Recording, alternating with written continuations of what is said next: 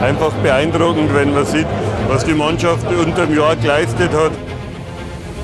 Das ist der Punkt jedes Jahr, wo ich sage, da fieber ich drauf hin.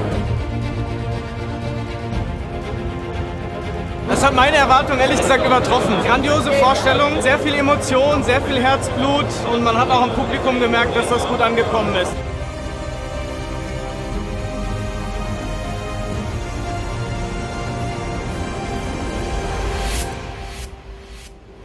Kastenwagen, Sani, Südwind, Sport, der NTI Plus. Jeder ist begeistert von außen, von innen. Das ist unser Baby, das haben wir gemeinsam, Klaus Tappert und MAN, auf die Welt gebracht. Der Plus ist einfach die Quintessenz aus allem. Der hat vom San Ivos, der hat vom Südwind was. Eigentlich das Beste aus jeder Baureihe in, in ein Fahrzeug gesteckt und nochmal das Beste draus gemacht. Das ging nur durch die grandiose Zusammenarbeit, hat unglaublich viel Spaß gemacht und jetzt steht er hier und es ist einfach ein toller Moment. Wir machen in Zukunft einfach keine Kastenwagen mehr, sondern wir entwickeln jetzt ein CUV.